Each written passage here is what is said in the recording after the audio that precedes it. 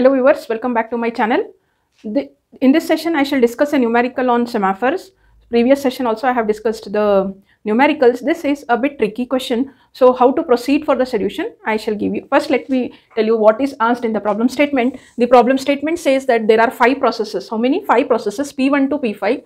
Each process P1 PI that means for process P1, P2, P3, P4 the code is like this the numerical says that this is the code which these four processes are following P1, P2, P3 and P4.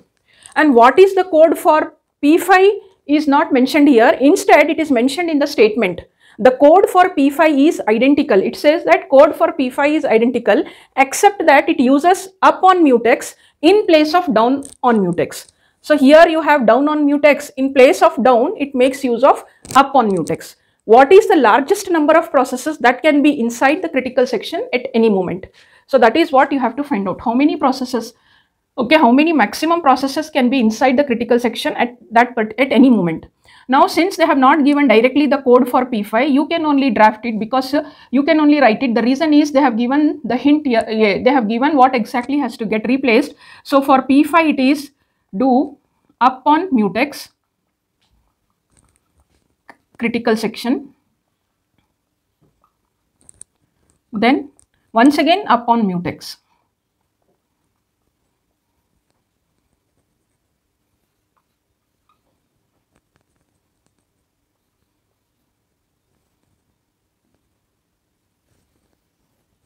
So this is what you have arrived now based on the statements that were given in the problem statement.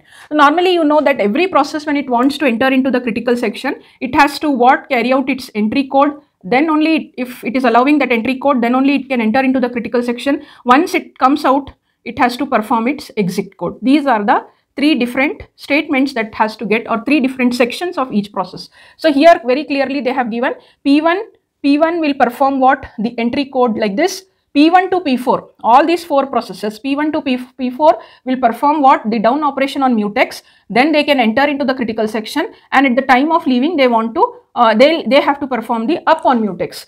But P5 is doing in a different manner. For P5, the entry part is this one, this entry section. Then critical section is critical section and the exit section is this one. So for P5 only it is different. So this way P5 will follow to enter into the critical section. Using this uh, code, you need to determine at any moment how many processes can be inside the critical section. So let me just focus this side. Okay. We'll do like this. We'll make one critical section here. First a box type and say that this is your critical section. Now we'll see how many processes can enter into the critical section. First it says that P1 will start with the process in the sequence only because First we will do carry out for all these P1, P2, P3, P4. Our aim is to what? See that more number of processes, maximum process processes can reside in the critical section. P1 will perform the down operation on mutex. So initial value of the semaphore is given as initial value. Yeah, let me write the initial value or uh, you can say binary, the semaphore is initialized to 1.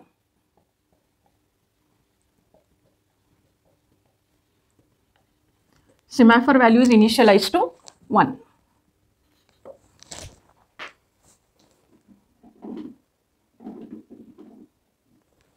So there I have written the semaphore value is initialized to 1.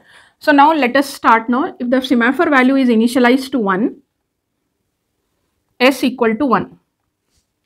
First, the P1 will perform the down operation because its entry code is what? To do the down operation. When it wants to do, when it tries to do the down operation, the semaphore value becomes 0. Okay. So, hope you people are following here. Semaphore value has become 0 now because P1 has carried out this. Once P1 has done this, it can enter into critical section. P1 has come. So, we wanted more number of processes. Now current value of semaphore is yes. P2 wants to enter into critical section. P should, P2 should also follow the same code. P2 has to perform the down operation on mutex. Please remember or recall what the definition for the down operation on the semaphore. What is that? While S less than or equal to 0. But here the condition is true because the current value of S is 0. 0 less than or equal to 0 is true. That means P2 now cannot enter into the critical section. That while loop condition became true there and it is struck and it cannot enter into the critical section. So P2 cannot enter but P2 is there in the uh, block list. Okay, P2 is there in the block list.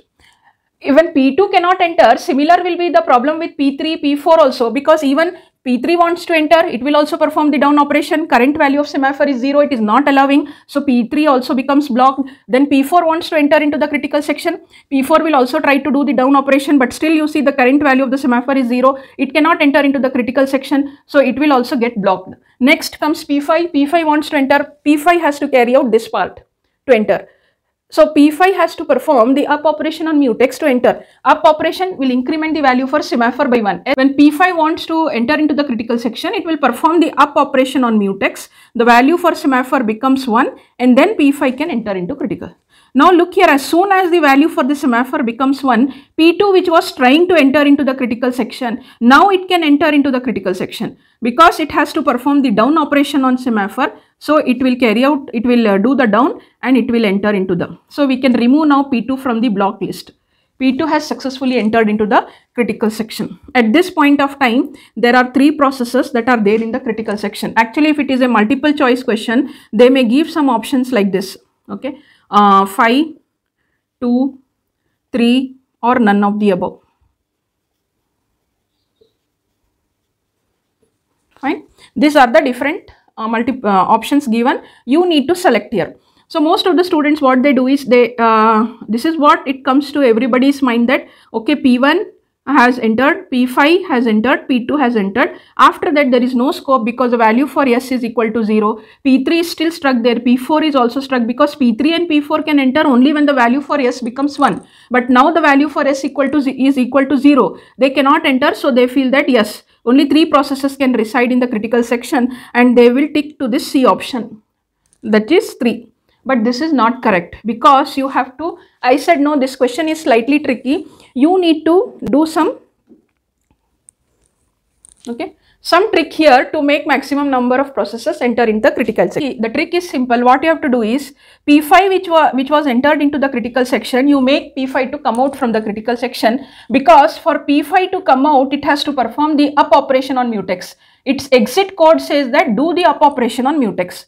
So P5 will try to perform the up operation and it will make the value for uh, semaphore as 1 and it will what? It will come out. So now P5 is not there. Remember P5 is not there in the critical section.